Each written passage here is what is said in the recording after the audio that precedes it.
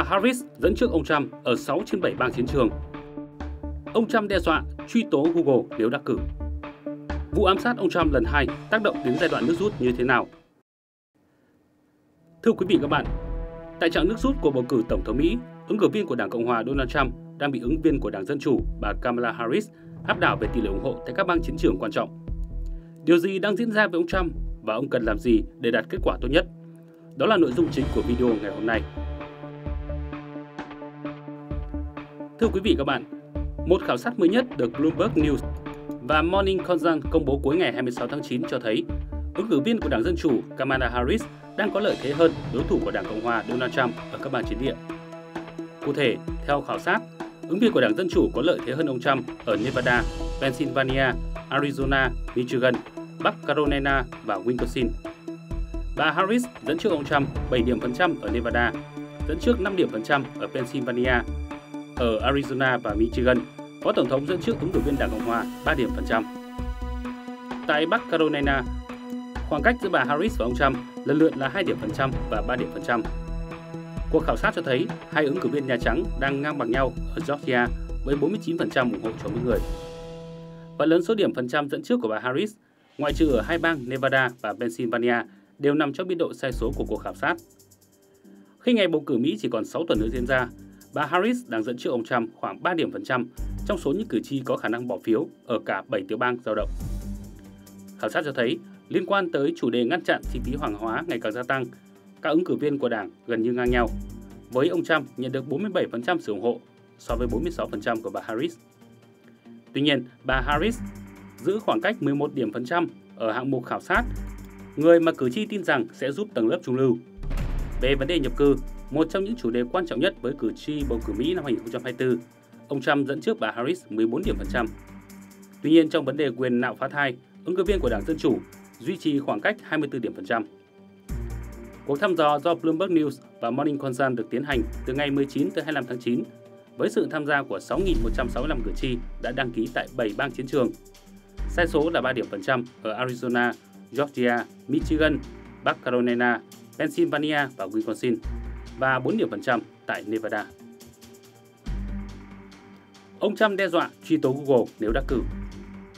Cựu Tổng thống Donald Trump vừa tuyên bố sẽ truy tố gã khổng lồ tìm kiếm Google nếu đắc cử vì cho rằng Google chỉ hiển thị những câu chuyện xấu về ông.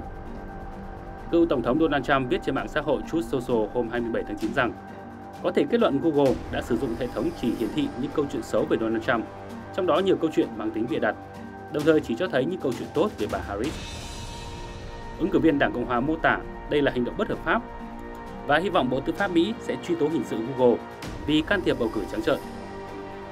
Cựu Tổng thống Donald Trump không nêu lý do dẫn tới phát biểu này song dường như đề cập tới bản báo cáo được công bố bởi Trung tâm Nghiên cứu Truyền thông MRC, tổ chức giám sát truyền thông theo phe bảo thủ của Mỹ. Theo báo cáo này, Google đã chèn bài viết của những hãng tin thiên tả lâu đời vào kết quả tìm kiếm về ứng cử viên chính trị. Theo đó, bài viết của một số kênh như CNN, Washington Post, New York Times được hiển thị trên trang địa chỉ web chiến dịch tranh cử của ông Trump và bà Harris. Google cho biết trang web của cả hai chiến dịch tranh cử luôn xuất hiện ở đầu kết quả tìm kiếm khi người dùng thực hiện các truy vấn phổ biến và có liên quan. Hãng cho rằng báo cáo của MRC chỉ tập trung vào trường hợp sử dụng một thuật ngữ đơn lẻ rất hiếm gặp để nhập lệnh tìm kiếm cách đây vài tuần. Ngay cả với lệnh tìm kiếm đó, các trang web của hai ứng cử viên đều xuất hiện ở vị trí cao trên danh sách kết quả. Ứng viên Cộng hòa Donald Trump từng đưa ra cáo buộc tương tự nhằm vào Google vào năm 2019, cho rằng nền tảng này chỉ ưu tiên hiển thị các tin tức tiêu cực về ông trong cuộc bầu cử tổng thống năm 2016. Công ty khi đó đã bác bỏ cáo buộc Google nhiều lần khẳng định không thao túng kết quả tìm kiếm để ủng hộ ứng viên chính trị. Hãng không tiết lộ thuật toán điều khiển công cụ tìm kiếm của mình hoạt động ra sao. Song các yếu tố như tính thời sự và độ phổ biến của chủ đề được cho là có ảnh hưởng đến kết quả tìm kiếm. Theo kết quả khảo sát khác do Reuters và Ipsos thực hiện và công bố hôm 25 tháng 9, Phó Tổng thống Harris nhận được 47% sự ủng hộ, trong khi ông Trump theo sau với tỷ lệ 40%. Cách biệt giữa hai ứng cử viên cao hơn một chút so với cuộc khảo sát trước đó của chính Reuters và Ipsos khi bà Harris dẫn trước ông Trump 5 điểm phần trăm. Vụ ám sát hụt ông Trump lần 2 tác động thế nào tới chặng đua nước rút? Sau vụ bị ám sát hụt lần thứ hai, ứng viên Tổng thống Mỹ của Đảng Cộng Hòa Donald Trump đã khôn ngoan để cao bản thân khi tuyên bố chỉ Tổng thống có tầm ảnh hưởng mới bị bắn. Cựu Tổng thống Donald Trump một lần nữa đã trở thành mục tiêu của vụ ám sát hụt khi đang chơi golf tại sân golf Trump International ở West Palm Beach, bang Florida hôm 15 tháng 9. Đây là điều chưa từng có trong lịch sử bầu cử tổng thống Mỹ, bởi chỉ trong hơn 2 tháng, một ứng cử viên tổng thống bị ám sát hụt hai lần. Sự việc không chỉ làm cho nền chính trị Mỹ vốn phân cực cao độ, nay càng thêm bối rối, mà còn dấy lên những quan ngại về an ninh của các ứng cử viên và những tác động của nó với cuộc bầu cử tổng thống năm 2024. Trong khi mật vụ Mỹ vừa được khen vì đã xử lý vụ việc tốt hơn vụ ám sát lần thứ nhất, nhưng cũng vừa bị chê vì đã để kẻ bắn tỉa tiếp cận khi chỉ cần cách ông Trump vài trăm mét và ở nấp ở đó trong nhiều thời gian. Ông Trump đã triệt để tận dụng tác động của vụ việc. Ông muốn tiếp tục chứng tỏ với cử tri Mỹ về bản lĩnh sắt đá và quyết tâm chính trị vững vàng, kiên định của mình mà một tổng thống Mỹ cần có. Đồng thời cũng đã khôn ngoan để cao bản thân khi tuyên bố chỉ tổng thống có tầm ảnh hưởng mới bị bắn. Còn đối thủ của ông là bà Harris cũng đã lập tức thể hiện tầm lãnh đạo của mình khi nhanh chóng lên án vụ ám sát hụt nhằm vào ông Trump và bạo lực nói chung. Dù ngay sau vụ ám sát hụt thứ hai, các nhà cái ở Mỹ đã nâng cao thêm cơ hội thắng cử của ông Trump, nhưng hiện vẫn còn quá sớm để có thể thấy hệ quả của vụ việc. Với kết quả của cuộc bầu cử vào ngày 5 tháng 11 tới đây, tuy nhiên đã có những tiếng nói mới có lợi cho chiến dịch tranh cử của ông Trump. Chính dư luận Mỹ cũng đã chỉ ra rằng trong suốt những năm qua, dù bản thân có nhiều lời nói và hành động châm ngòi cho những phản ứng không thuận, ông Trump đã liên tục bị công kích quá mức trên mạng xã hội và truyền thông.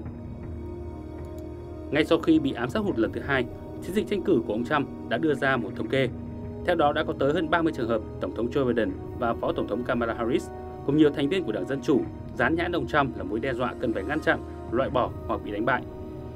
Ông Trump cho rằng điều đó làm nổi bật hình ảnh cá nhân của ông chứ không phải là chính sách mà ông theo đuổi, là nạn nhân của một cuộc săn lùng phù thủy từ các luận điệu tuyên truyền tiêu cực không ngừng nghỉ của Đảng Dân Chủ và một bộ phận đáng kể trong giới truyền thông, ít ra là trong thời điểm ngắn hạn ngay sau vụ ám sát. Nhờ đó ông rất có thể sẽ tranh thủ thêm một bộ phận cử tri không nhỏ ủng hộ cho ông. Ý thức được thực tế trên, dường như gần đây bà Harris đã bớt công kích cá nhân ông Trump như từng làm cùng Tổng thống Joe Biden trước đây, mà khôn khéo chuyển dần trọng tâm sang công kích hiện tượng và các chính sách của ông Trump. Hiện tại, theo báo chí Mỹ, hệ quả từ cuộc ám sát hụt nhằm vào ông Trump lần thứ hai chưa đem lại những điểm cộng lớn cho cựu tổng thống trong mắt đại cử tri Mỹ. Nhưng ít nhất thì nó cũng giúp ông Trump chấm dứt những tuần u ám gần đây. Tiếp theo nữa, liệu vụ ám sát hụt cựu tổng thống Trump lần thứ hai có giúp ông bứt phá trong giai đoạn nước rút đầy cam go hiện nay hay không? Như ông đã làm được sau vụ ám sát hụt đầu tiên hôm 13 tháng 7 là câu hỏi đang được dư luận đặt ra với sự quan tâm đặc biệt nhưng khó sớm có câu trả lời. Tuy nhiên một điều rõ ràng là tình hình đang diễn biến nhanh và ứng viên nào tận dụng được tốt hơn cơ hội tiếp cận và thuyết phục nhiều hơn những cử tri còn chưa quyết định tin vào lời hứa chính sách và các biện pháp quản lý đất nước trong giai đoạn đầy thách thức, sẽ có cơ may chiến thắng cao hơn trong ngày bầu cử mùng 5 tháng 11 tới đây.